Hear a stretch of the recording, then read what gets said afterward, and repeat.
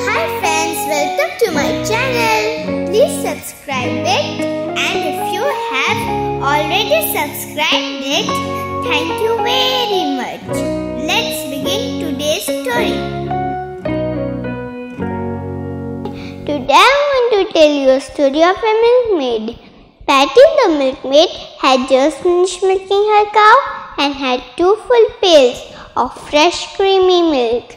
She put both the pails on a stick and set off to the market to sell the milk. Along the way, she started to think of all the milk she had in her pail and all the money she would get for them. Once I get the money, I'll buy a chicken, she thought. The chicken will lay eggs and I will get more chicks.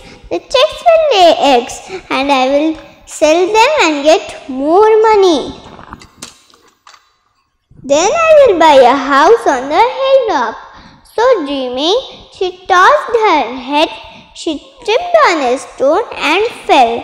The pails fell and the milk spilled on the ground.